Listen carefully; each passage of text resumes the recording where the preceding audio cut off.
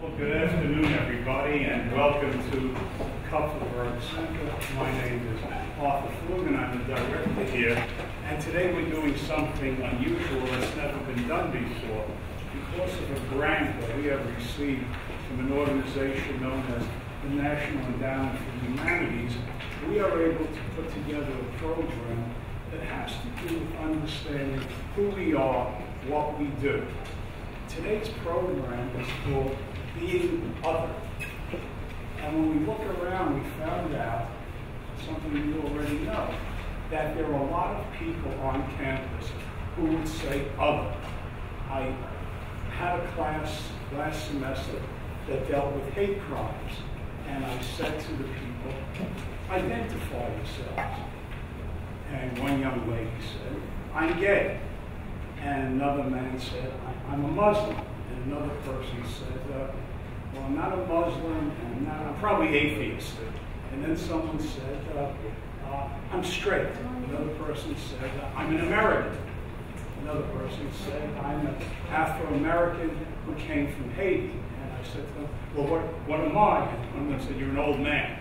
but I which is fine. I was, uh, so what we're here today to do is to have a group of instructors from campus and a group of visiting instructors from other organizations and other campuses come here to meet with you today to discuss issues of what it means being other.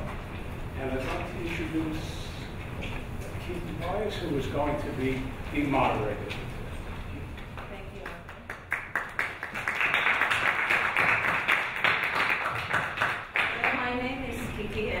Arthur already said, but if you look at and my students will attest to this, my name has 17 letters, so I might qualify as the other, the person with 17 letter name, right? Anyway, we have a very rich event today, and we will have five speakers. You can read their names and the description of uh, what they do in that uh, program book. And I will not take much of this time to read them because you can read them by yourself. I would just like to start with my story, a little bit of my story of being other. If I look around in this room, other than having 17 letter name that qualifies me as the other, I also have another quality, which is this. Probably fit to what uh, Arthur said earlier, that I am another, or the other in this category. Because I don't see anybody else covering their head other than pants and a little uh, winter gear there, right? So what does it mean to be the other? do I get discriminated? Thankfully, personally, I've never been discriminated. But, and this campus is very rich and very understanding and very open to people of other qualities in a way. So for that, I thank the Quick okay, for welcoming other people in a way. And then we hopefully will be hearing from other people also. However, I am the advisor to the Muslim Student Associations, and I hear a lot of stories of how they were treated That's why this event is very important so that we will learn how to deal with different okay, So now with that, I'm just going to talk about the format of the event. We have five speakers, so we will divide the event into two parts. So the first part, all speakers will be speaking. We already have three of our speakers here right now, and two are still on the way. One professor is still teaching right now, but she will be rushing here once she's done with her class. Okay, so we will start with the first three, and hopefully by the time three speakers finish, the other two will be here, so that we can continue with the presentation. And during the presentation, I'd like you to hold your questions, so that's why I distributed that index card. So write down your questions. Okay, so after we finish with the presentation, so then you are you will remember your questions. Okay, so uh, let me pause at this point, and then uh, we have three speakers already here. So how do you want to go about this presentation? Anybody wants to go first? Okay.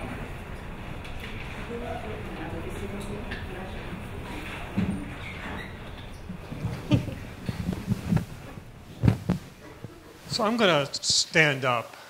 I always wanted to be a stand-up comedian. This is the closest I ever seem to get. But so I'm going to talk about you know, talking about other, I'm going to be talking about transgender people. Uh, this year marks the 25th year since I graduated from college. a lot has changed in those 25 years, certainly for me, and also for transgender people.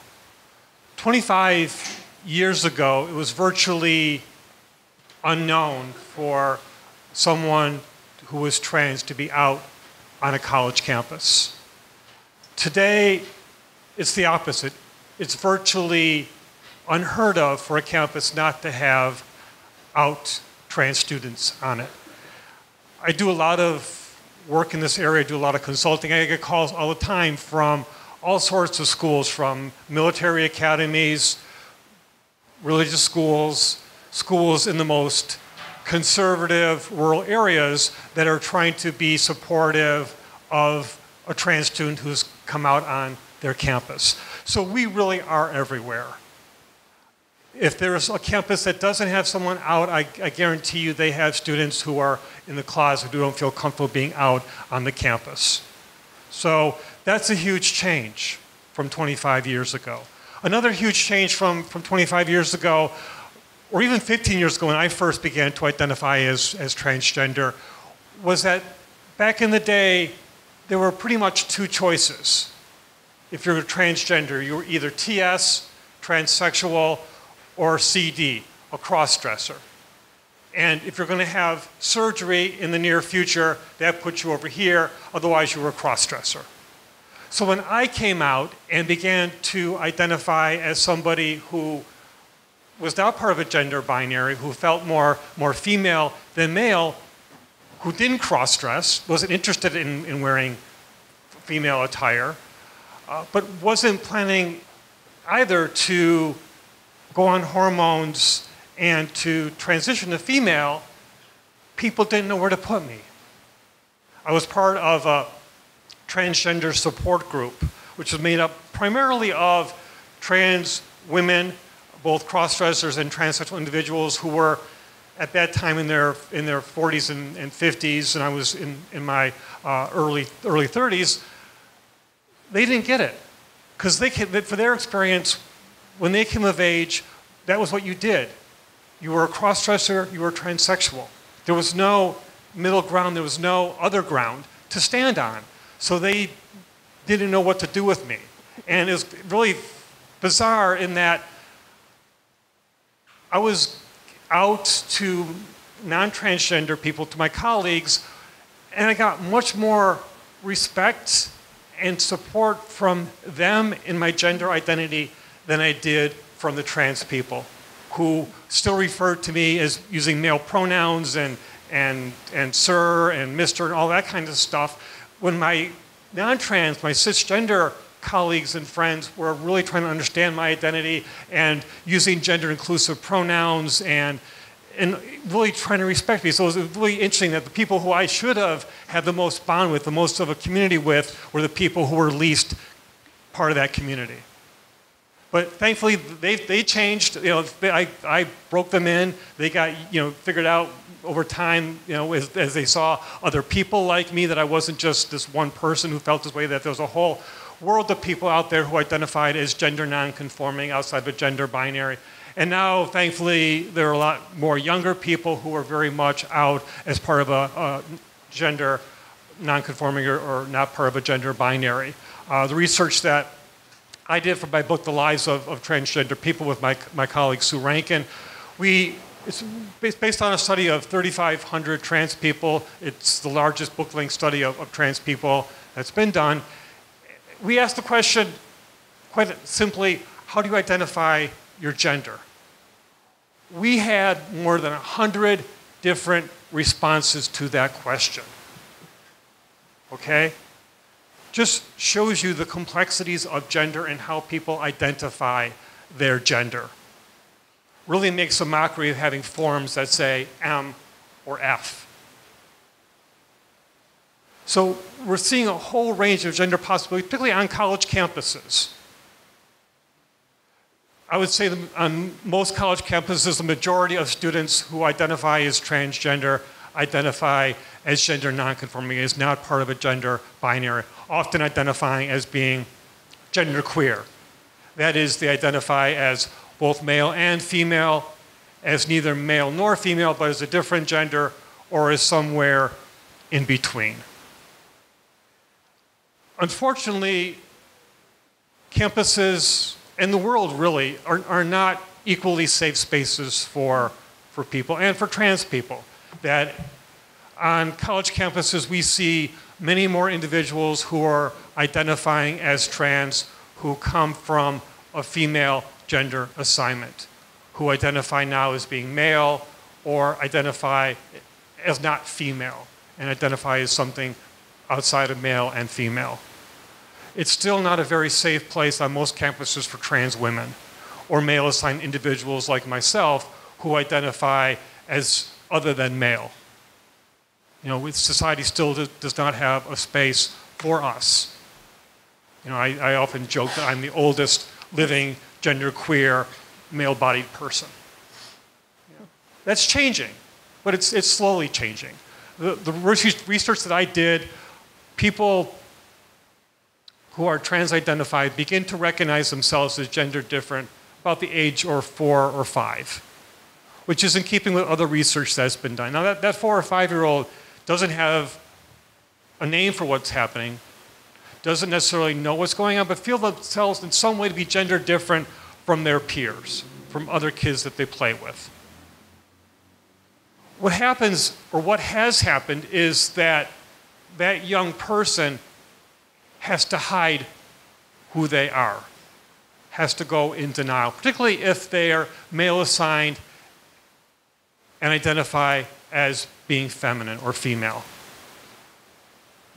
All of the people whom I interviewed for the trans book who were male assigned, who identified as female, were punished for it. If they were caught cross dressing or if they didn't know any better, I guess you might say, and told their, their family that, that, that they really were, were girls or that they identified as female. They were all punished for it. They were sexually assaulted, physically assaulted, uh, sent to therapists to be cured, institutionalized. All of them across the board had some way that they were shut down and had to repress who they were. A bit different for the female assigned individuals who identified as masculine or male. Because in most US cultures, there's a space for that. You could be tomboys and will be tolerated, maybe even uh, accepted or, or glorified for that, at least until you become a teenager, reach puberty, and then gender roles, gender expectations narrow considerably.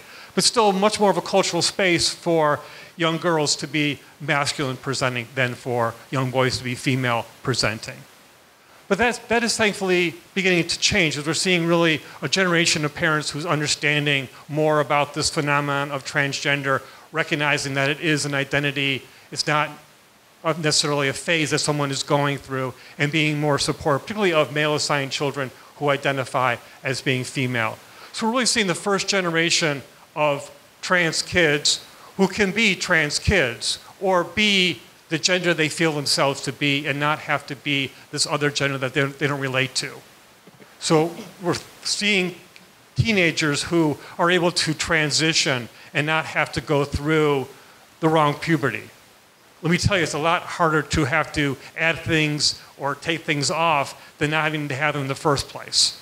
So we're really seeing a generation of, of trans people who, in a, in a sense, aren't really trans because they can be who they see themselves to be. They don't have to, to transition because they've always been that. Remarkable. You know, I never would have imagined that 20 years ago when I first started getting involved in doing this sort of stuff. Never would have imagined that, not in my lifetime, certainly. We're also seeing, you know, that, that, that four or five year old maybe not a four or five, but not much older than that, can go online. You know, there's this thing called the internet, which didn't exist in, in my day. You know, changed, it's changed everything really because now that individual who feels gender different at four or five can go online and understand what's going on, not have to spend years or, or decades even wondering what's wrong with me. Am I the only one who's like this? In the book, I, people who I interviewed, I heard so many just horrific and, and tragic stories of particularly trans women, but some trans men as well, who spent decades and decades not knowing what was going on with them, did not know that other people like themselves, did not know that it was possible if they wanted to, to transition. It wasn't until they got online, until the internet existed, that they could see that there are other people like themselves. Oh my God, I'm not the only person who's like this. There's a whole world, there are whole communities just like me out there, and I can be part of that.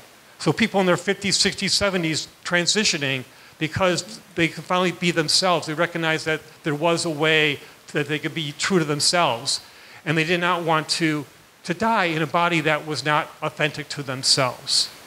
You know, very different today when you have the ability to be online and discovering that there's this term transgender and a whole host of other terms, when you can be talking to trans people from around the world, just has changed everything.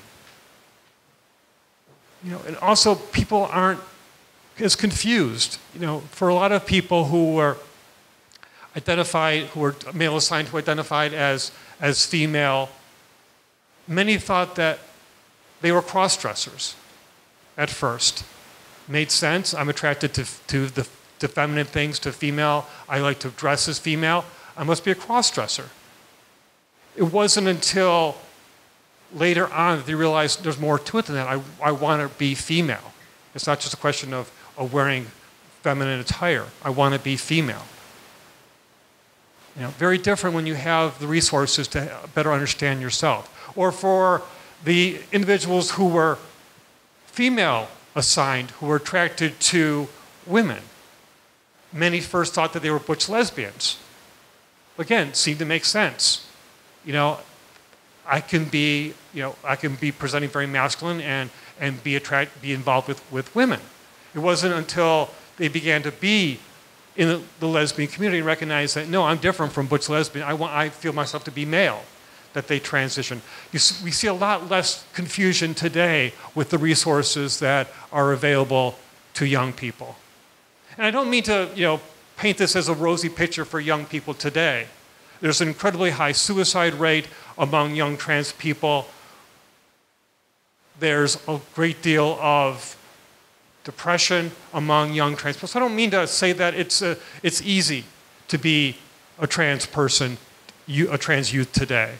But there's more resources that are readily available. No matter where you are, you could find community, if only online. It's very different when, when back in my day, when there weren't even, wasn't an internet, there weren't even books available, you know, that, that were supportive of, you, of how you identified. You know, so very, it's very, very different. And for young people who, who don't have the support of family, who don't have the means to be able to, to present as how they identify or to, to transition if that's what they want to do. So we're seeing more and more coming out in college, which again, as I mentioned at the very outset, is a very relatively recent phenomenon. It used to be back in my day because people were were in denial, really, repressing who they were, that they did not come out until mid, midlife. You know, they were evaluating who they were, where they wanted to go with the rest of their life. Maybe they, their kids were grown. Maybe they, a marriage had, had ended. Were trying to evaluate themselves, and, and Cain, you know, had that moment of truth. Very different today, where people are having the resources can, can know about other trans people and so don't have that those years and years of, of wondering. You know it was fascinating to interview particularly, particularly trans trans women for the book um, who many of whom if if they were in their 40s or, or 50s had the most masculine of backgrounds they were almost invariably ex-military um, they were firefighters and police officers, race car driver. You know, they, they did the most macho things they could do. Why? Because they were so in denial about who they were. They were trying to run as far from they, as they could from who they were. So they were trying to, as much as possible, deny to themselves and to anyone around them that they could possibly be female. Very, very different today. Unfortunately, most, most colleges aren't ready for, for trans people. Most colleges don't have the resources, the, the, support services in place for trans people. I hear, I, this is what I do for a living, is basically counsel colleges about how they could be more trans supportive. And we have a long, long way to go. You know, in, I was involved in 1996, at, at, I was a graduate student at the University of Iowa. We were the very first college to add gender identity to our non-discrimination policy. 1996, you know, yesterday pretty much. And today we only have 700 in some colleges that have even, even taken that basic step to be inclusive to say we will not discriminate against trans people, let alone being supportive in other ways and making it clear that we support having trans students at our institution, that we're going to provide the resources to make that, make that happen. So it's still, unfortunately, a very difficult environment at, at, colleges for, for many trans students, even though more and more are coming out and, and looking for that kind of support at, at colleges. So I'm hoping that but this, my talk today you know, opens up a little bit more understanding of, of, trans people and, and the need to be supportive and have the resources available. And I think I will, since I'm running out of time, I will, I will end, it, end it there.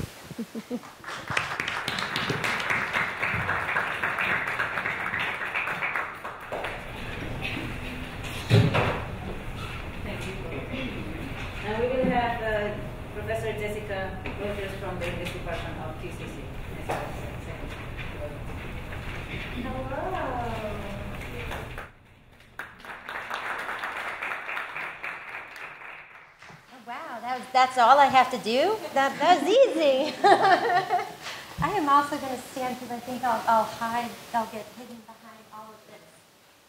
Ah. I'm pretty loud.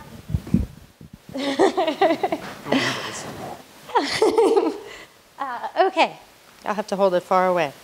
So, um, first of all, thank you everyone for coming. Thank you so many of my students for being here. Really appreciate it. Uh, and thank you to my fellow speakers. Really fantastic. Really appreciate uh, all the um, bravery and outspokenness and hearing all these sort of different uh, opinions today that relate to this idea of what it means to be different or to feel different, to feel like other. Uh, and I think one of the things that we start to notice is that um, in some way, we, a lot of us are an other. So maybe if we start to recognize that, then we are not alone. Our differences, yes, they might be different, but we are joined sometimes in that feeling of marginalization, of alienization, of feeling put down or unheard or unable to speak. Uh, and I want to talk a little bit today about something that sort of relates to very specifically to us here in New York City. Uh, and that's the NYPD's stop and frisk program. Uh, and I just want to give us some updates, some facts about the program, what we found out, and some updates about the recent um, court case and city appeals and the dropping of city appeals and, and what that means. Uh, it's very much a point, a place of action right now for our communities and for New York City concerning, um, concerning the police. We've never really had this opportunity before. We've never had such an open administration that is willing to ask, okay, what improvements need to be made? What do you think police should do? And how should they do it? We've never had really a, a, an administration in the city that is so open to hearing from its community members and has acknowledged the problems and the racial profiling within the stop and frisk system. That is that acknowledgement has never been made before just a couple weeks ago. As much as we may have seen it in the streets or felt it ourselves, we've never had our officials back us up. Uh, so let me just back up just a little bit. Uh, I teach in the English department, and I also occasionally teach uh, an English 101 class for criminal justice majors that is paired with criminal justice 101. And that's how I started with this issue. And I thought it would be an interesting thing for us to discuss in class. And little did I know when I asked my students how many of us have been stop and frisked. I was overwhelmed. so many people in the classroom, so many stories, people telling me that they've been stopped over and over again. And I realized that I needed to do, do more research, be involved, see what was going on uh, with my students and in my neighborhood, but not to me. So I wanted to kind of um, really find out more, and I want to talk to you a little bit about what some of those statistics are. Like I said, you know, I teach this English 101 class for criminal justice majors, and I often have, you know, maybe three quarters of the room who say that they want to be police officers. and people will give a lot of reasons. Early retirement, number one. Early retirement, the pay, the stability, the idea of people who just want to help their community. Okay, I mean that's that's always there at its core. There are other jobs with early retirement. There are other jobs with good pay, but there's something else about the motivation to be a part of your community. Uh, also, TV shows don't help. Say, kind of make it look a little exciting too. uh, but you know, then I turn around and I ask, well, how many of us have uh, maybe a negative or a disparaging view of police officers? And everybody raises their hands. The same people who moments ago told me they want to be police officers. So how do we how do we reconcile those things? Uh, and a lot of times people say, well. I want to become a cop because I want to change it. I want to do something different, and I'm not going to do these stop and frisks. And I'll, since the stop and frisk program really began, began in force in the early 90s, 91, 92, there have been a lot of cops who have said that. But unfortunately, with this policy in place, the pressure, even people who did not want to make stops, were sort of forced into feeling like they had to. You know, when you are a police officer to be promoted, to move up in the force, uh, you want to impress your supervisors. You want to, uh, you want to do your job well. And it started to seem as though there, were, uh, there was a numbers game. The more stops, the better police officer you are. And when it comes to being a cop, there's no quotas. If there's no crime, that's a good day. if we don't arrest someone someday, that should be a good day. That shouldn't be a bad day at your job. You know what I'm saying? So that, that, that's kind of an interesting sort of take. And there's no, uh, there were no official quotas related to stop and frisk.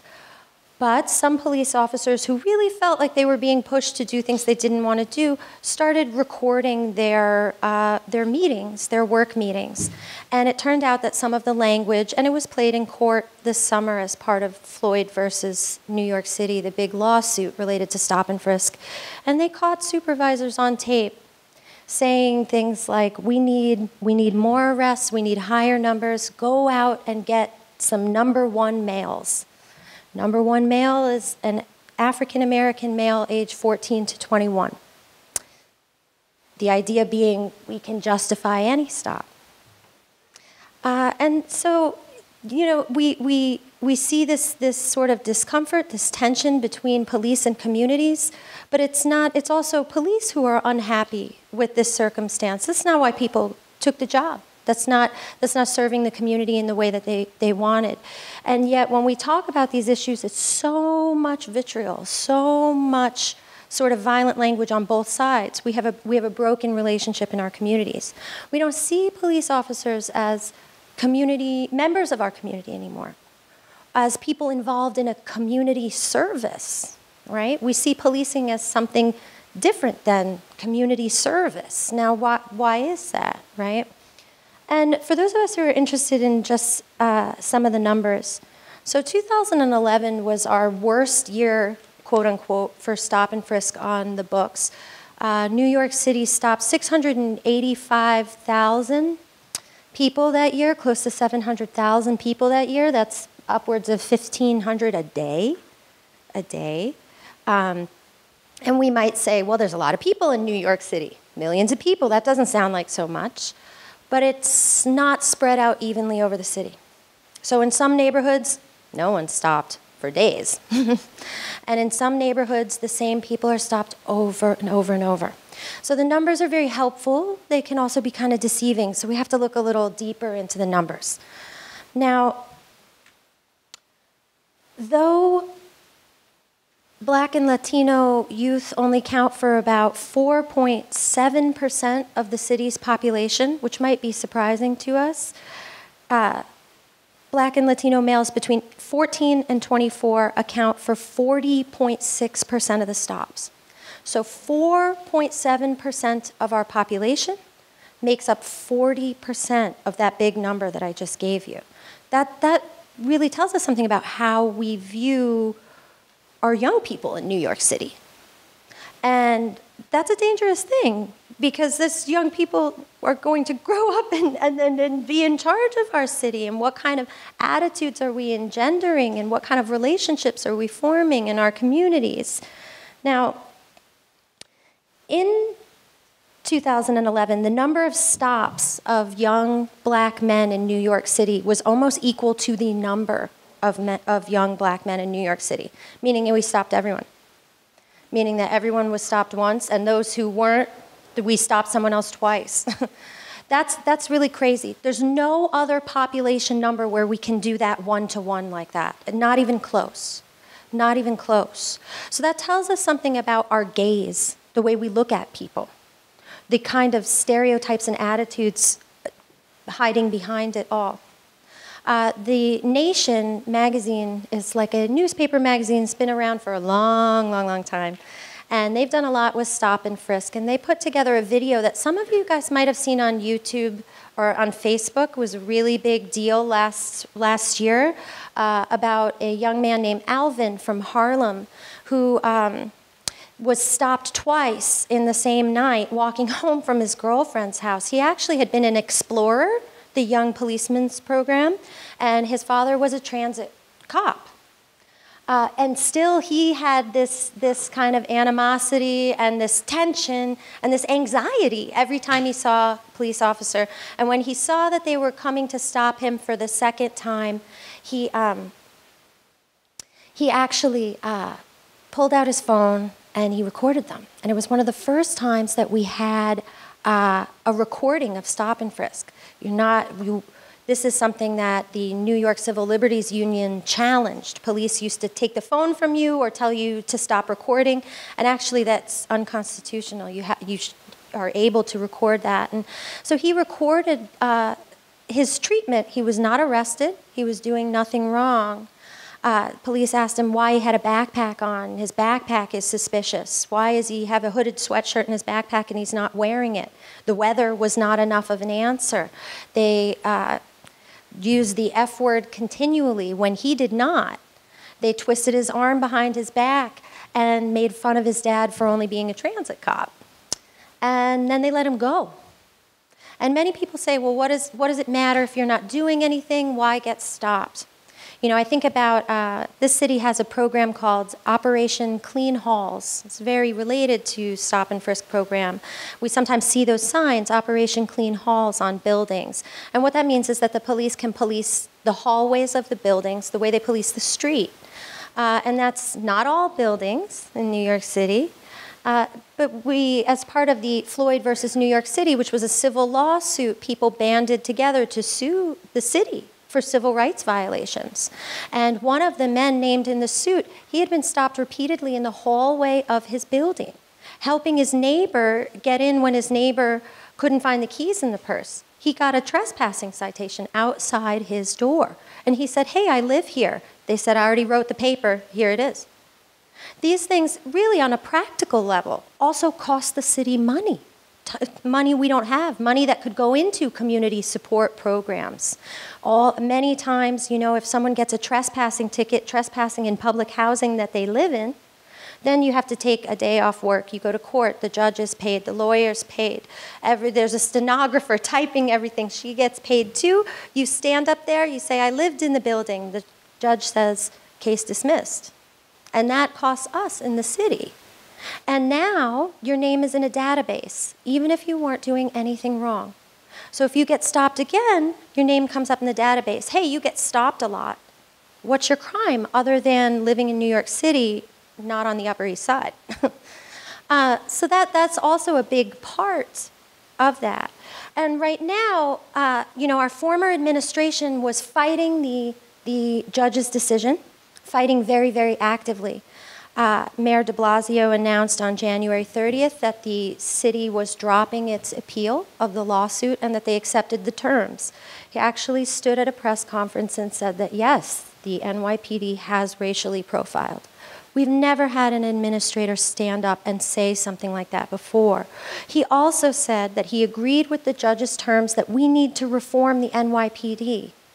And he asked the community to let him know, to let us know, to let the city know what what does policing mean? What do we want our police to do? What do we want that relationship to be? The rule book is out with new guidelines. If we create those guidelines, is it possible to police in New York City without racially profiling? Is it possible to stop, question, and frisk without racially profiling? Because the program still exists. It just cannot be carried out in the same way. So, what does that mean? And those of us in here who are criminal justice majors, that's the question for you. When you now become police officers, what, how is that possible? How do we do that? And how do we train officers to do that? Uh, the last thing I'm going to say this is just from the New York Times. I have tons of resources for anybody who wants to uh, talk to me after. I can show you all kinds of video and websites. But this is some of the reasons why, when people are stopped, these are the top reasons that are written on the ticket. And you see the number one reason is furtive movement. And that means looks suspicious, moving suspiciously. And people's prejudices and deep held stereotypes, that's going to impact what I think of as suspicious. I'm going to carry that right out there on the job with me. And it's very vague. It's very vague. It's basically a catch all that says, I can stop whoever I want, right? So how do we begin to change this so that it this list represents something that's actually beneficial to our to our communities, stopping people for a reason, right? Uh, like I said, for people who are, are interested in this, um, I encourage you to ask questions. And like I said, I'm, I encourage you to, to be involved, to go to your community board.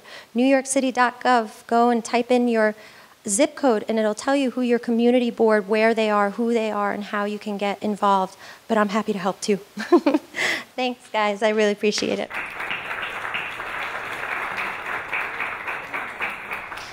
Thank you, Jessica. And No um, problem. our Uh, hello, everyone. I will be um, sitting, those who can't see me. Um, sorry for being short. Um, let's get started. Okay.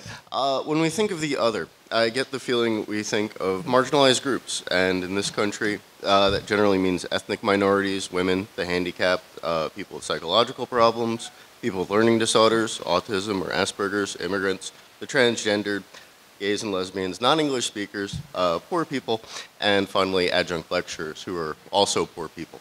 Um, but marginalized how exactly? Uh, these are groups who are excluded, maligned, mistreated, threatened, abused, uh, and even occasionally exiled or even killed for being part of this other group. Uh, there's another group that I think fits these above criteria truth tellers. Uh, yeah, people who tell the truth, I think, are often excluded, maligned, occasionally exiled, and sometimes even killed. It seems like a radical idea. Uh, well, until at least you, until you look at the people whose job it is to tell the truth. Uh, journalists, teachers, whistleblowers, and even that friend who tells you that you're in a bad relationship. Uh, these are people who tell us what we don't want to hear, and they open themselves up to a lot of resentment because of it. Uh, because I'm mostly a writer, uh, most of my evidence will be anecdotal, specious, reckless, and vague, but please uh, bear with me. Uh, to wit, Oscar Wilde, famous author, once said, uh, if you want to tell people the truth, make them laugh. Otherwise, they'll kill you. Uh, also, H.L. Mencken, who's one of history's best curmudgeons, uh, look it up, uh, tells us the men that American people admire most extravagantly are the most daring liars. Uh, the men they detest most violently are those who try to tell them the truth. And Mencken, who was a reporter during the Scopes Monkey trial, uh, where scientific fact had to gain the support of the US government in order to be shared with other people, uh, had a pretty good view of how hard it is to get people to listen to the truth. Uh, also, we learned from a great book, I've used it in class many times, The Power of Persuasion by Robert Levine, that it's actually dangerous to be a weatherman, or a meteorologist rather, uh, in Alaska, and it's not exactly the weather. Uh, and this is absolutely true. People send in letters uh, full of sound and fury, signifying a lack of understanding of causality, that if it snows just one more day, they're coming down to the station and beating up the meteorologist. Uh, and this is absolutely true. Uh, but also, a little bit more seriously, think of the three, I guess, latest or biggest whistleblowers in the news uh, Edward Snowden, uh, Bradley Manning from the Army, and Julian Assange from WikiLeaks. Uh, while all three have their supporters all across the world, they also have something in common. No, none of them can walk on U.S. soil as free men. Uh, and as a student, uh, back at John Jay, I was lucky enough to actually meet Frank Serpico. Not Al Pacino, but the actual Frank Serpico, uh, who was actually shot in the face for his trouble exposing corruption in the NYPD, uh, the Knapp Commission way back when. And he told us 20 years afterwards that he was still getting death threats and he still was afraid to live in the United States. The threats were coming from current and former NYPD officers. Uh, so it's a pretty, pretty strong thing. But while the public battles are interesting and a little bit easier to research, I think it's more interesting to see how the personal battles play out uh, how we, ourselves, us, you and me right here, um, how do we react to the truth? Uh, of course, a pleasant truth, you know, something nice, you know, oh, you look good today. Uh, it's easy to bear, it's easy to share, it's easy to, um, it's just easy to take. And that right there is, I think, the crux of our reaction. It's not necessarily the truth we dislike. Uh, it's the unpleasantness, the pain, the fear, the suffering, anger, other things that Yoda says.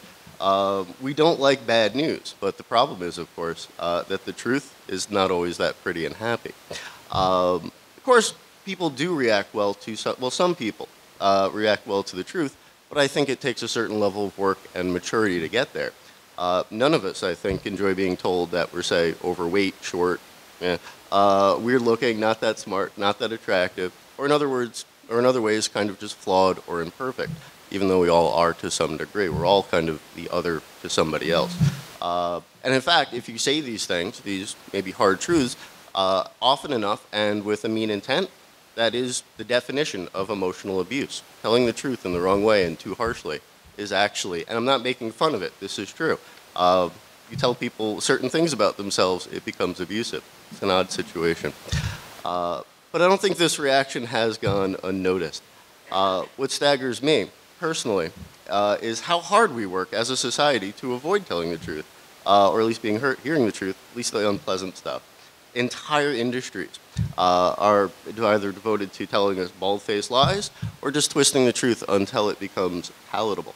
Uh, the easy example, of course, is advertising. I love watching it, uh, not because I want to buy things, but because of the messages therein. Uh, for instance, uh, let's see, if you buy a car, all of a sudden you're 20 years younger. Uh, if you buy, you know, and that fifth blade on a razor is the difference between the happily ever after or living alone, uh, at least according to the commercials. Uh, let's see, where else do we have? Uh, oh, of course, and just because it was just Valentine's Day, the only way, the only appropriate way to show your love uh, is to buy many, many diamonds. And yes, if he doesn't buy you diamonds, and it's always he buying, him buying her a diamond, he doesn't really love you uh, at least according to the ad. Uh, and of course, one of my favorites, though, is that eating McDonald's makes you smart. Uh, I don't know if anyone else has seen those commercials. Um, of course, the biggest lie is that McDonald's is actually food, uh, but we'll pass that. But my absolute favorite actually came on a chocolate bar, uh, a Dove bar, uh, and it said, chocolate always loves you back. And it's just, it was about five years ago, and it's going to be imprinted in memory forever. Um, especially when we're lonely. Uh, but of course, and there is, besides advertising, there's the mire of uh, politics, uh, which according to George Orwell, who hopefully some of you have read, if you ever take me as a teacher, you will, uh, he calls politics and political language the defense of the indefensible.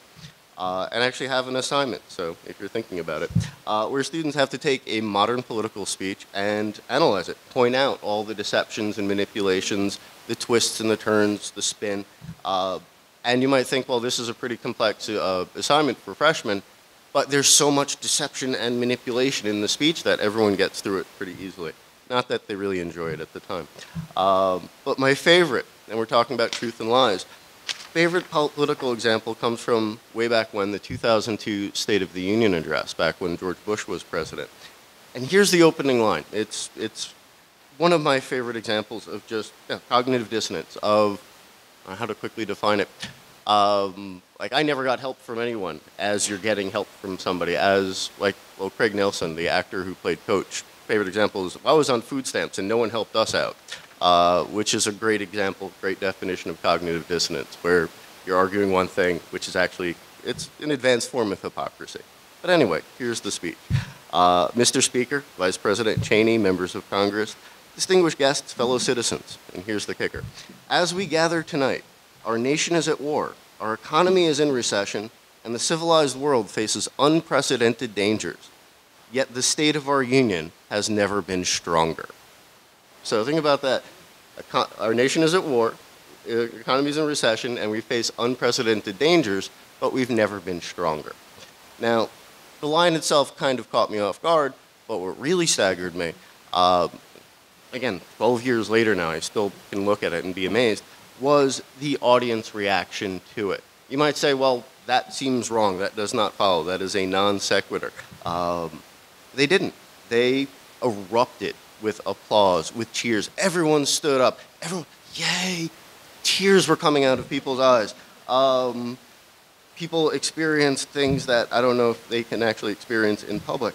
Um, and it was not a political show. Uh, it was really, it was it was what the audience what they wanted to hear, what they needed to hear. Uh, the nation had never felt weaker in my lifetime, probably most of our lifetimes, and the truth and that pain were happily dispelled at least for a little bit. And while it's easy to blame the deceivers, and often enough we should, probably a lot more than we do right now, but their motivation is obvious. What I think is more puzzling and fun is our motivation to believe these lies. All right. Uh, and I think the answer is pretty simple but underestimated. We want to be happy, we want to be blissful, uh, we want to have pleasure. Uh, and add that to the ability to, I guess, choose what we want to believe. Uh, and we have, well, actually, the world of literature, believe it or not. Uh, for instance, when I just said we have to choose what we want to believe, especially if I say it a little bit more masculinely, um, you might think of The Matrix of Laurence Fishburne. If I said Neo, you'd be like right there. Um, and no, I haven't forgotten the truth tellers. I just want to see how deep this rabbit hole goes. Uh, because, yes, as much as we ostracize and distance ourselves from truth tellers, we cling to those who best uh, help us escape reality, at least for a little while. Uh, think of our best celebrities, our actors. Uh, let's see. So let's think about it this way. Uh, if you're enjoying a movie or TV show and someone comes along and tells you the director beats his wife, and it's true, you've just lost a bit of happiness there. You've lost that escape. Um, and now think about your feelings of the person who told you that. He didn't, the, the, truth teller was not the one who's doing the beating. That person is just letting you know what's going on. But you now hate and resent that person a little bit. And I think that's really what it is. That's what faces the truth teller is when somebody spoils our fantasy, we're mad at that person. Not because they're taking it, well, because they're taking it away. Even if it wasn't real, even if it was just a complete deception, something we told ourselves, that anger at basically waking up. Think about a good dream and you're angry for being woken up by a loud sound. I think that is somewhat analogous to how we feel about the truth teller in general. Uh, and of course, the last question I have about this is well, if it's so bad, if we're risking so much, so much anger, and if we look at the history of people who tell us the truth, the outcome is not always rosy, so why do it? Uh, and I guess I'll kind of fly through my answers here. I'm on my last page. Um, I think actually the, the, desire to tell the truth is a little bit cynical, it was a little bit uh, selfish, because when you're already alone, when you're already isolated, losing that extra little bit, when you're not allowed to talk about things, I guess the strongest example I have in the time I have now is imagine you know somebody who is in an abusive relationship, okay, and sadly most of us do. And if you don't know someone in a an abusive relationship, you know someone who does know someone. It's disturbing. But think about the pressure. I see my friend, she's in trouble, she's getting beaten, but she's so upset about it and she's so scared about talking about it that if I bring that up, I can lose the, the relationship altogether, which is why a lot of people stay silent. Uh, but think also of how much is lost uh, because you're not allowed to talk about the truth. And I think basically, people will take that risk of isolation and of loss because they already feel it to some degree. They see what other people don't, and they're already isolated, uh, so they're willing to risk everything, uh, I guess, to get a little bit more, I guess, from being isolated and cut off. Uh, I think that's about my time. Okay, had a little bit more, but thank you very much.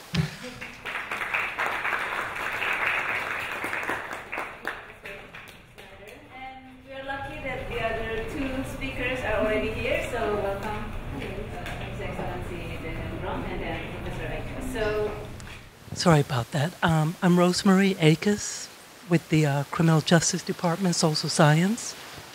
Um, are you able to see? Actually, maybe I'll just come over here and because I want you to see the visuals um, as best as you can. Um, maybe you can go to the next one. So I'm here to talk about um, being other, and particularly within the criminal justice system. Um, and I thank you for inviting me. I really feel honored to be here. Um, just off the bat, there are 65 million Americans in this country who will never catch up to you. How do I, what do I mean? They have a criminal record. So, by that reason alone, they will be considered other. And they will not compete for jobs with you. These are some of the companies that exclude. Okay? Go to the next one. Um, be another in America. And I, I'm, I'm going to read some stuff to you, but I also want to kind of point out uh, this young sister, she was actually killed a block away from me in Harlem for being other, for being different. Um, because some people in the criminal justice system, once they leave the system, are considered other. And this is fueled by legal and regulatory barriers that prevent people who come home to enter into meaningful positions, meaningful housing. Um, they are excluded, including Section 8 housing, if you have a drug conviction or some kind of felony, being other. Um, the system uses language, the criminal justice system inside and out, to create categories for being different. We have offenders, we have welfare parents, we have drug dealers. Um, um, also, are you willing to invest in the identities of other people who look and act and maybe are different from you because of their contact with the criminal justice system? Are you willing to invest them and with them? Um, next one, please. Okay. Um, just want to read a couple of things for you. And this is from the Sentencing uh, Project website that you can go to later. Um, so they are roughly 5.85 million Americans, 5.85 million Americans, or one in 40 adults in this country who have currently or permanently lost their voting, voting right, um, the ability to vote because of felony conviction. I come from a tiny country called Finland. Our population is 5.2 mil. So let's put it in context. If you visited my country, no one there could be could vote because they have a felony conviction. Staggering, is it not? Being other. We have 2.2 million African Americans in this country who are disenfranchised, meaning they cannot vote because they are other, meaning they have a felony conviction. In 2007, we have 1.7 million children in this country who have one or both parents in prison on any given day, being other. And I'll talk to you more about collateral consequences of incarceration and what it means to children because they too become other and they serve their time where? In the community. When mommy and daddy do, do, do, uh, do time, they do that time too. Okay. And again, we have 65 million Americans with a criminal record. Okay. Um, talking about a little bit about social exclusion. Um, we are facing a crisis, and I'm talking about mass incarceration in this country. We have 2.3 million people who are sitting in our jails and prisons as we speak. 11,000 of them not far from here on Rikers Island. And if you look at a New York State, New York City map, look for Rikers Island. You won't find it. Being other, being invisible. How do we respond to uh, crisis when it comes to criminally speaking? We incapacitate. We also have what I would argue, oh, based on Saskia Sassen's um, um, research, we have master categories. You are above 65 million people. You are in an upper category. Why? Because you have no criminal record. Um, and people in these master categories can designate where any one of those 65 million people can live and work and earn their living, being other. Okay, can we go to the next one? Okay. A little bit about defining social exclusion. To me, social exclusion is the result of or can produce being other categories that are less than master status categories. Um, social exclusion is a complex process and it's multidimensional. It involves both lack and denial of resources, rights, goods, and the ability to participate in a normal relationship and activities. It may include the, the person's inability to even get their children back. Did you know that in New York State, it's federal law actually, if a woman is sentenced to three or more years in prison, the state can automatically start adoption proceedings um, to place that child into a foster adoptive home, regardless of the relationship the child has with his or her parent, be another.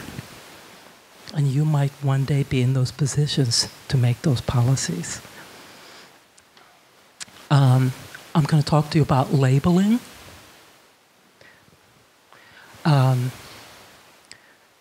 we have heard these terms drug dealer, sex offender, ex offender, drug addict, predator, habitual offender, thug, labels, and me, othering and bordering are two important process of exclusion. Labels exclude, do they not?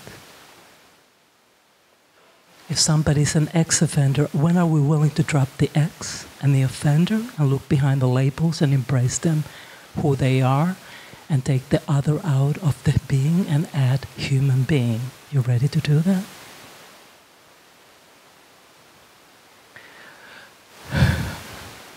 Labeling is done through invention of categorical categories and labels and ideas about what characterizes people belonging to these categories. And here, just we have a surplus population of individuals.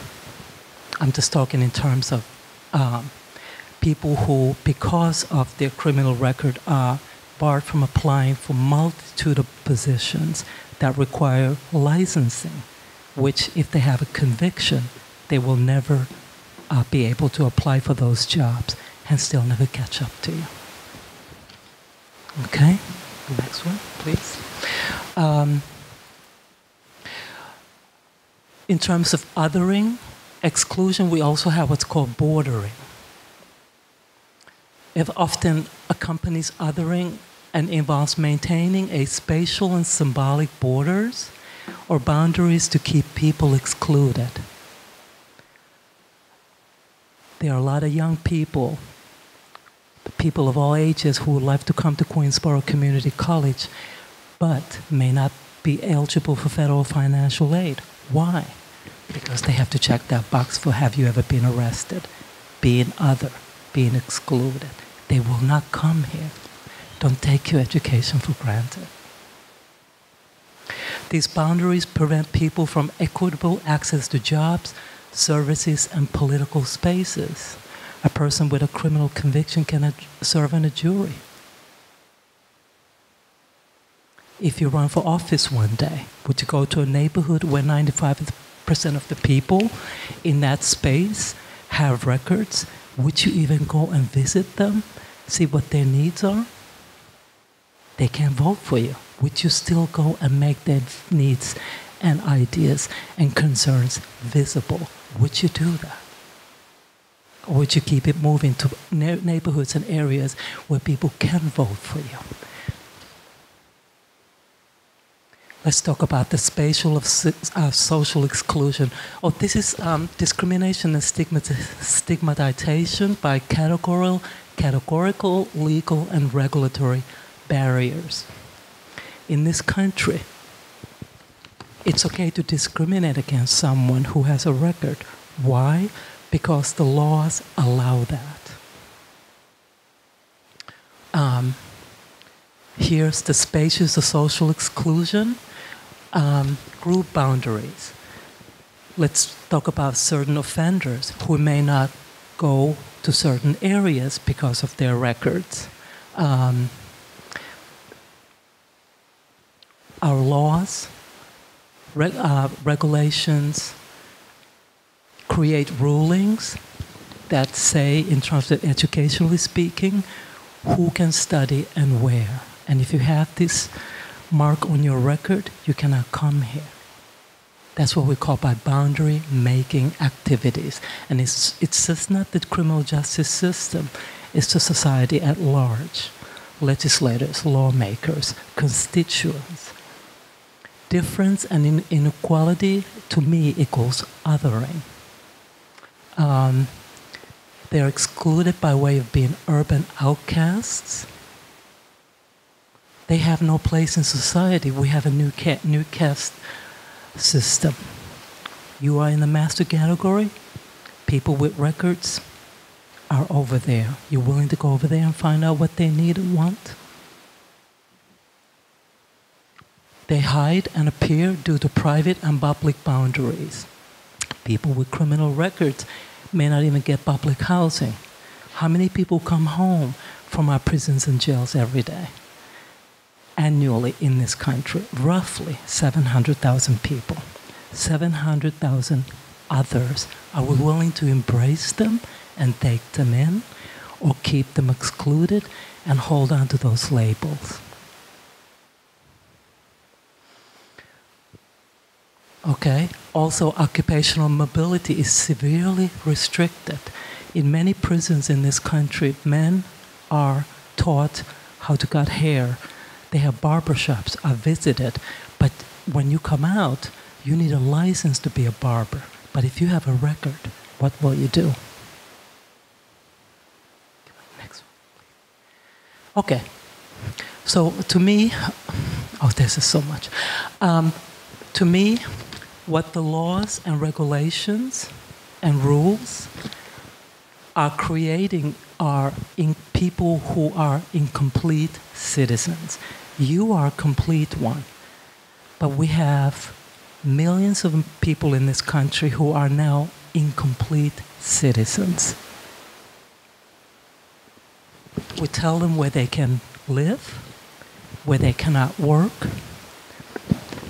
We deny them political participation, economic deprivation. If you have a drug charge, you may not get public uh, welfare you may not get food stamps. We have to factor in race and gender. People of color are dispor- disproportionately impacted by the criminal justice system. They are segregated in urban environments. Let me ask you again if you run for office one day, if you become an advocate, if you already are one, are you willing to hear the voices of the other and bring them from invisible to visible? You willing to do that? Are you?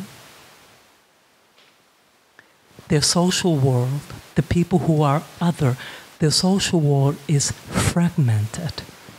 It's not fluid. I can go here, but I can't go there. My child can go there, but they can't go there. What will I do to become complete citizen? Okay. My question to all of us is can we eradicate being other or do we emphasize being other? Next one. Oh, time is up. One more. Okay. Oh, let me just quickly, um, quickly, um, want to talk to you a little bit about collateral consequences of incarceration. Um, this is just some statistics. Um, maybe you can go to the next one. Yeah, go to the next one, please. Okay. Here, I just want to ask you where do you fit in this arena? Where do we fit in this arena? Are we willing to come from here to there and embrace people or not? Who are different, who've made mistakes. I'm not condoning criminal activity.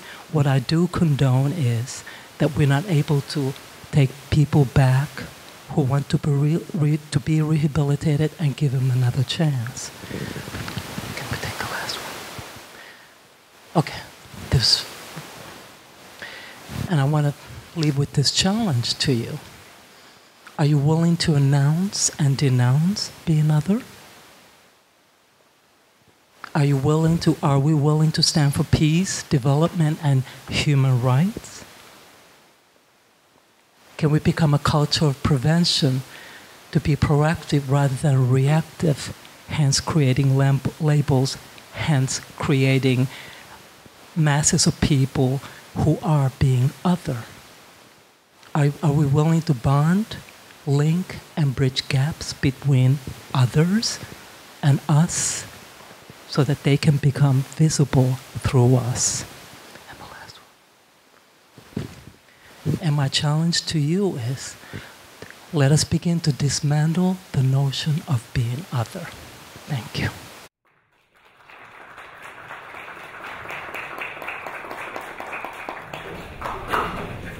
And now we have our last speaker. Yep. Uh, maybe I'm just going to sit if, if you don't mind. Uh, good morning or good afternoon, I should say, to everybody. And let me start off by apologizing for being so late. It took me two and plus hours to get here from City Hall, uh, but I made a commitment and I wanted to be here. And I really do believe that the topic for today, being other in America, is really vitally important to, to all of us and to the growth of New York City and to America as a whole. I also want to thank uh, Dr. Diane Call, our president of uh, Queensborough, for all that she does, and Dr. Arthur Flug as well for uh, running this Holocaust Center. And long before I was elected to the New York City Council, I was a member of the board of the Holocaust Center, and uh, to see what the Holocaust Center has become and how it's being used is, is a tremendous pleasure to me. So I want to thank all of you. And um, I just want to tell you, you know, if you look at me, I'm a white guy, you know, almost 60 years old, and what do I know about being other? So I learned about being other when I was very young because I felt that I was different. And my other, for me, is because I'm gay. And I'm going to just tell you some of the experiences that I had growing up being gay, and then even to the point of um, my career, and then being elected as one of the first openly gay people to be elected in the borough of Queens. Um, you know, when I was young and in school, I used to get bullied all the time by other kids in the school. I didn't think I was particularly effeminate. I don't still, I still don't think that I really am. Although uh, sometimes I say it's not that I'm effeminate, it's just that I'm educated, and uh, people mistake one for the other. And um, and uh, but I was teased and harassed quite often for being different, and so I felt very early age that I was different, and I was felt I was made to feel that I was other than. Uh, even in a pretty hom- hom- homogeneous environment, mostly white kids in a Catholic school in a Long Island neighborhood, growing up basically in, in a similar type of uh, community where people were pretty much the same. Um, but I knew I was different, and in 1973, I went to a place called the Firehouse. Uh, the gay rights movement had just started, and the Firehouse was the home of uh, the gay rights movement at that time. It was in Soho on Wooster Street in Manhattan. And I knew that I had kind of found my people, so to speak. Um, uh, you know, I always wanted to kind of be involved. I had seen the civil rights movement happen in the 1960s. I saw the fight for African American rights, for women's rights. But I was very much afraid, really, to speak up for my own rights as a gay person. Um, until I went to that firehouse and I saw other people who were like me willing to stand up and fight for our rights. Um, you know, being in, in a, I went to a Catholic college, Marist College up in Poughkeepsie, very conservative, uh, very, um, you know, um, much the same of the, the communities that I came out from. I was teased, I was harassed there. Um, but I started a gay organization up there in 1973 uh, when we were still on the list of mental disorders. It used to be that you were considered to be mentally ill by the American Psychiatric Association. And that's how they damaged our community and, and, and, and put that label on our community. To me, in some ways, there's no label worse than to be called mentally ill. And by the way, my father was mentally ill, and I saw what happened to my father. And eventually, my father almost became like a homeless man because of his mental illness and the inability for him to be able to get treatment and stuff, and, and the poverty into which it forced my family because of my father's mental illness.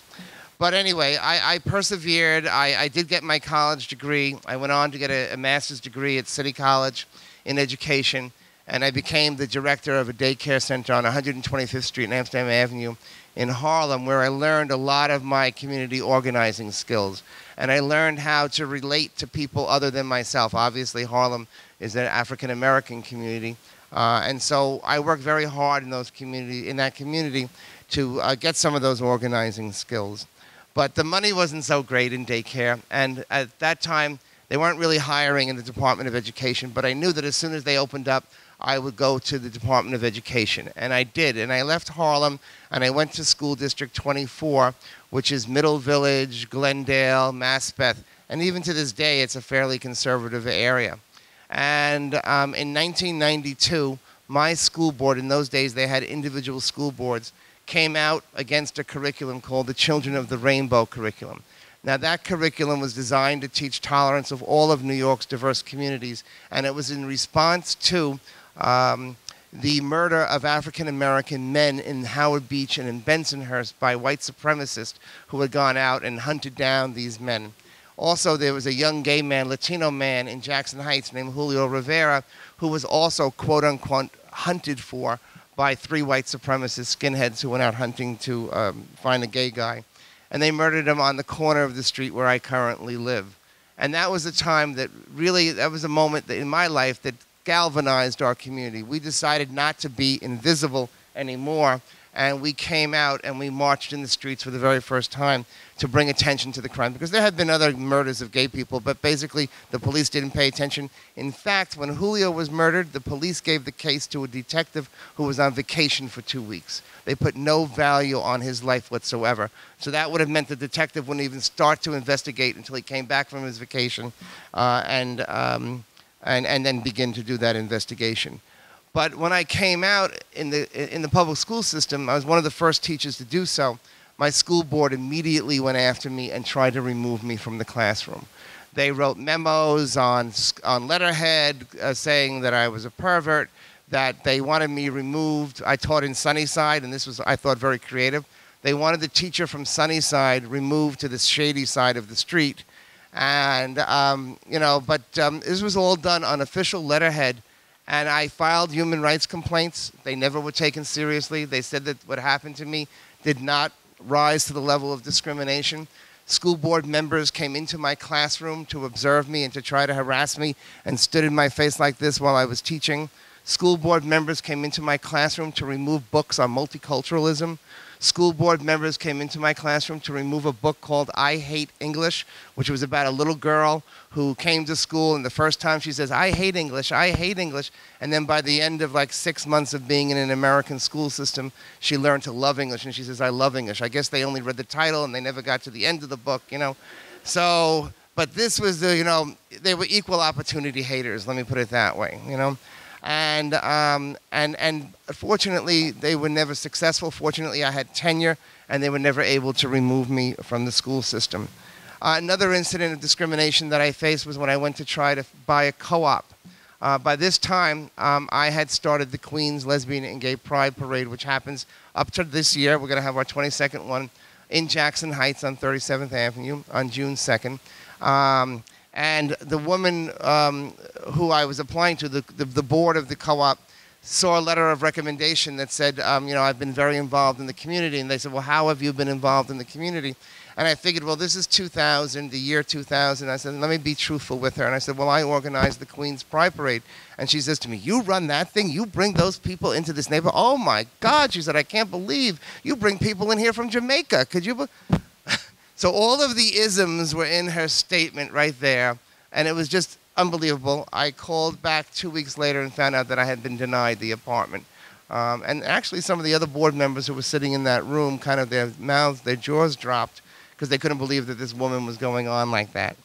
Um, when I ran for office, um, I uh, faced a, a, terrible campaign of homophobia where they distributed leaf leaflets uh, in Lefrak City, um, you know, saying don't vote for the homo and all of these other types of things slipped under people's doors on the night before the election. Well, of course, I'd always been open about it, but they just tried to distort the campaign and to use it for other reasons when I did become chair, and when I did become elected, I was asked what committee did I want to chair. And, you know, representing Jackson Heights and Elmhurst, I have a large immigrant community there.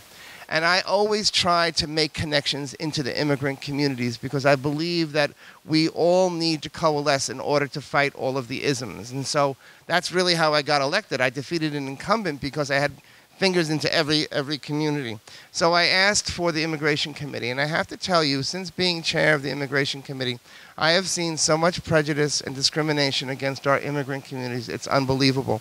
I used to think the last vestige of acceptable discrimination in America was against LGBT people. I now believe that it is against our immigrants, and particularly our undocumented immigrants.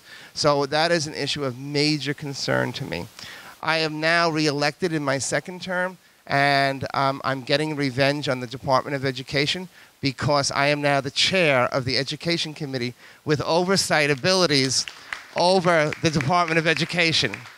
And our first hearing, well, we did something on pre K, but the first hearing that I'm selecting will be on February 25th, and it's going to be on how the Department of Education, um, what they do for LGBT students, families, and teachers. And um, Finally, I want to say another area of particular interest for me is also prison reform. So I'm working on a number of issues, particularly the issue of solitary confinement, uh, which also is a whole nother other issue uh, where they, in Rikers Island, confine thousands of people, mentally ill, substance abusers basically, for long periods of time, 180 plus days, in cells for 23 hours a day, oftentimes for 24 hours a day. But because of my background and where I've come from and how I got to where I am, I feel that it's necessary to fight for those things education, immigration rights, and for prisoners' rights as well. And so that's what brings me here today to a conference like this, and that's why I'm grateful to have this opportunity to speak to all of you. Thank you.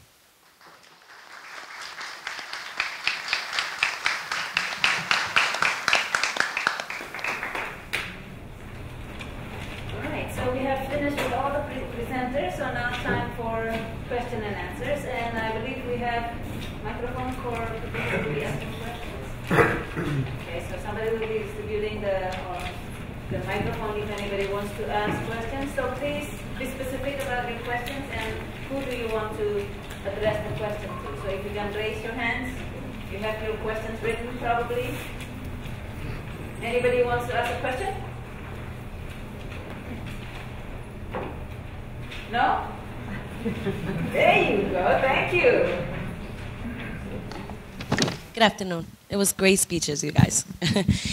um, as a mother, as a mother and as a student as well, I've heard all you speak regarding offenders and criminals, especially in our community. I would like to ask, how can you divide? Because I believe in new opportunities, especially as humans, we make mistakes. But there's offenders, child abusers, um, people that kill innocent children and things that shouldn't be like treated as mistakes. How can you divide that with people that are criminals and as well have new opportunities? How can you divide that in a way that we can see as a good thing? Well, let me, if you don't mind, I'll, I'll try to address that a little bit. Um, you know, um, one of the things that we don't offer in our prison system is rehabilitation we don't have rehabilitative services. We punish. And, and, and that's not really a way to get to correction, quote unquote. So I think really one of the objectives that I have as a council member is to, um, uh, to have services that are available. Now, the governor just proposed that we offer college courses to those who are incarcerated so that they can get jobs when they get out, so that they can have lives when they, when they leave the system. And that's a benefit to society as well. If all we do is lock people up for long periods of time, when they get out, they're going to continue to remain, as you have suggested, a threat to society. So, what we need are rehabilitative services for those who are currently incarcerated. So, when they become ex offenders, when they come out of prison, they don't recommit those types of crimes. There are, by the way, some laws in New York City, even in the Department of Education, where those who do have an arrest record are allowed to work uh, in certain circumstances. Um, I actually was arrested three times, um, and um, I was approved to be a teacher. And obviously, when I ran for city council, that came up in, in, in, in my run as well. Um, so I'm a deep believer as well in giving people second chances. I also had drinking and substance abuse uh, issues. But people can turn their lives around. And so I feel like my role as a council member is to continue to provide opportunities for people to have second, third, and fourth chances. I just wanted to add to that that um, echoing you is that some people do need to be inside, but it's but we need to also provide them services. But please don't get me wrong, some people definitely need to be inside. And a former practitioner in criminal justice, I've seen the system do a lot of good things to some people. Um, so I just wanted to add that, okay?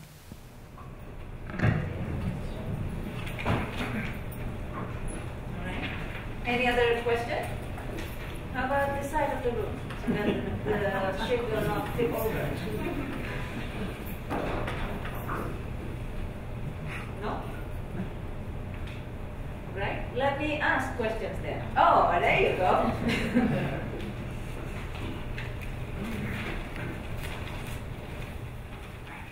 My question is because you're part of the Department of Education, how do you feel about, like, for me, I went to Sheepshead Bay High School, which is now closed down.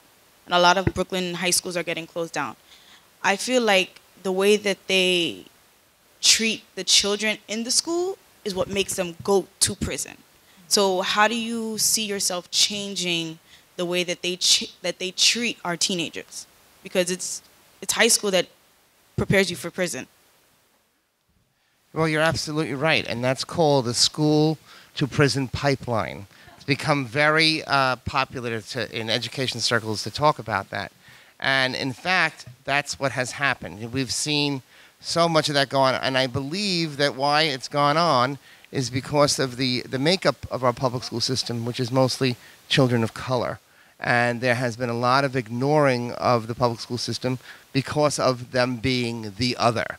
If we had rich white folks who had invested their kids' lives in the public school system, I don't really think the public school system would be what the public school system has become. Now, that being said, what can we do to change it? Well, just yesterday I met with um, the small schools sports uh, league people. So, for example, in most schools, they have the PSAL, the Public School Athletic League. Uh, but in the smaller schools, which the Bloomberg administration has been fond of promoting, you know, they close down the larger high schools, they put two or three little schools, but only the largest school in the building gets the sports programs. The other schools don't get it. So that is unfair. And the, the mo- most kids in the smaller schools are youth of color.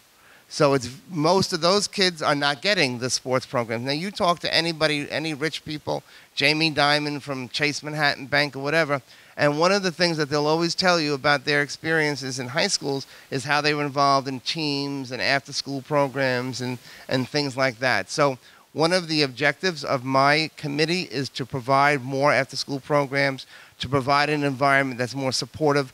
We're working on a Get Your Child to College program. You know, there are more school safety officers, folks, than there are guidance counselors in the New York City Department of Education. Okay, that is an incredible fact. Guidance counselors sometimes carry a caseload of one guidance counselor to a thousand students. How can you get kids into college when guidance counselors have those type of caseloads? So they, we're working on reducing that down to 250, which is still high, but we're looking at the budget also, which restricts us somewhat in what it is that we can do. So there are a number of programs like that to address the issues that you're bringing up, which are really very, very important.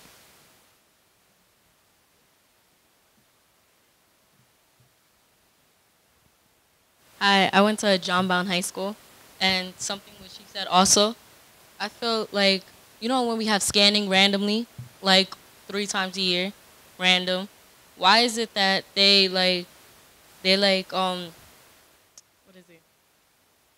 They like counter out the minority, which are Hispanics and black people, than those who like are white people, whatever. I'm both. And when they do scanning, they take millions of people's phones for no reason when they should be focusing on guns. My school, we had a couple guns in during the scanning, knives and everything, and they focus mainly on cell phones. Then we got to stay after school getting our phones. I don't understand, like, what was the point of that? Like the phone. I agree with you. I think it's a ridiculous law, and I would like to see that uh, cell phones are allowed in the public schools.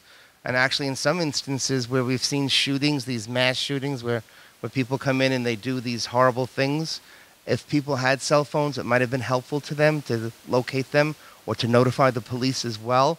I think there has to be some regulations about use of the cell phone in the classroom. Obviously, you don't want the cell phone ringing when you're in the middle of teaching. Having been a teacher, I don't want that to go on as well. But it shouldn't be a system where children think that they're walking into a prison when they're in fact walking into a school. And that's what it's become. We spend $22.7 million a year on school safety agents and on scanners in our schools. I have a proposal which would at least for temporarily and in a project program take 1% of that, $2.27 million, and put it into getting more guidance counselors and support for our youth in the public schools. That's the way I think we should be going.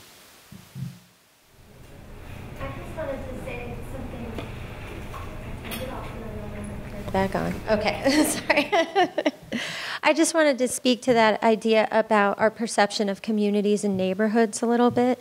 I think uh, I think we very often confuse uh, urban decay with moral decay. We think if the, the building is broken down, then the people inside are broken down. So it really does start with conversations like this to flip our perception. You know, we were talking in class this morning what would happen if police did community service.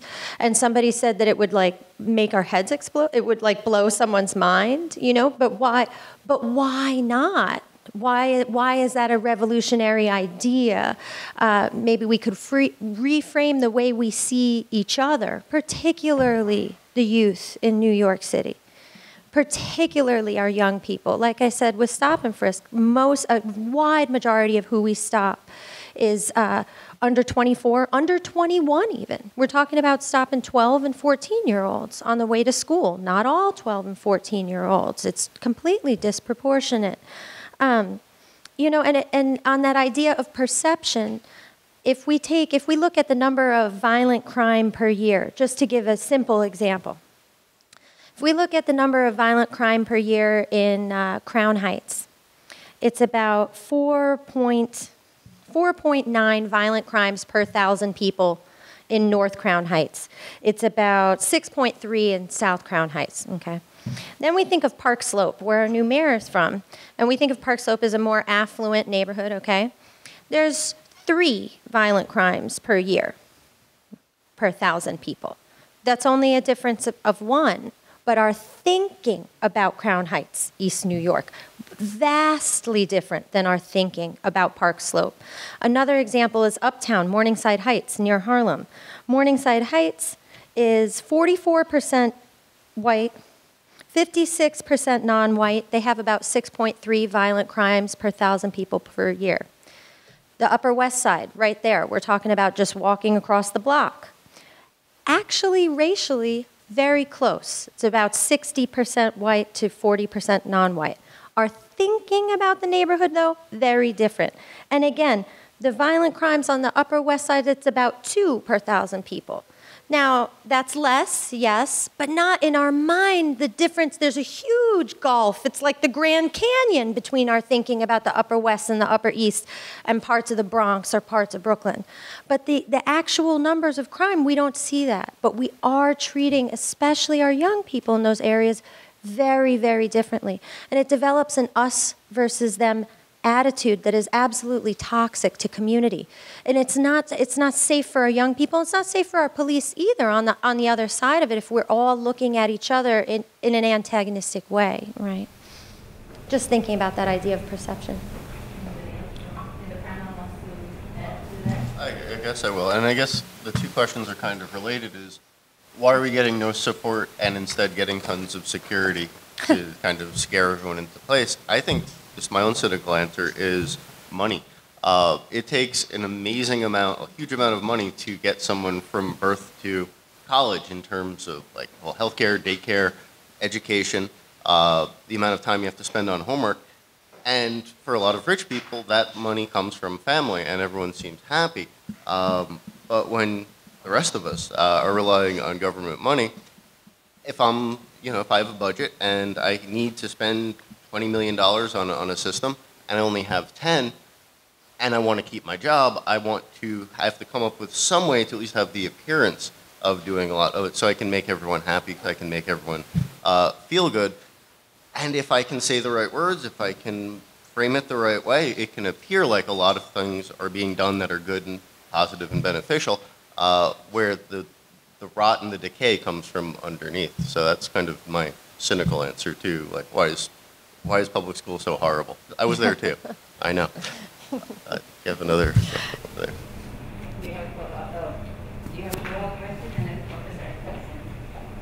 I have a problem because me being Dominican, it's like Dominican black, we're all like the same.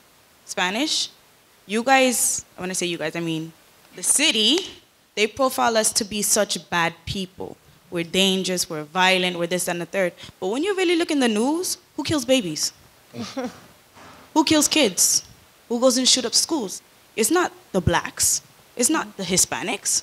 So why are we the ones that's getting so punished when these are things that we wouldn't even do? You don't hear about these things happening in Park Slope High School, in Sheepshead Bay, in any of the schools here. Mm-hmm. But we're the ones who's getting punished more. We don't need the security. The other schools do. I, I, mm-hmm. I think it goes back to the whole idea of perception. You know, mm-hmm. these terrible shootings that have occurred in high schools, fortunately, knock on wood, have not happened in New York City because we are accustomed somewhat to more diverse communities, and it doesn't happen for those reasons. Mm-hmm. In those other communities where they're, where they're not as accustomed to it, that's where you see these shootings and that terrible bullying that goes on as well. Well, unfortunately, we have come to the end of our program, and before we close, I'd like to invite President Diane Call to greet us here. I'm going to do it from here. Okay. I want to thank all of the speakers. You've been very thoughtful and forced us to be thoughtful. And I want to thank our students and our faculty who are here. I'm glad that we're having this conversation in the Kupferberg Holocaust Center because it points to what happens when we don't look at a person as a person. When we don't see, and it's important. I think each one of the speakers has made that, that very important point. So I thank you, and I especially want to thank the speakers. I was very, very intrigued by the comments, and I hope that uh, our students took something away today for you to think about and talk amongst yourselves. So thank you, and thank to all the faculty who organized this. Kiki, Susan, thank you. President Call. So I'd like to thank you all, the panelists, and then let's give a round of applause to all our speakers. and thank you for coming here. And then now I'll let you go to your next class. Oh, Professor Fluke want to say something? No. Okay, so thank you very much, and I'll see you in our next program.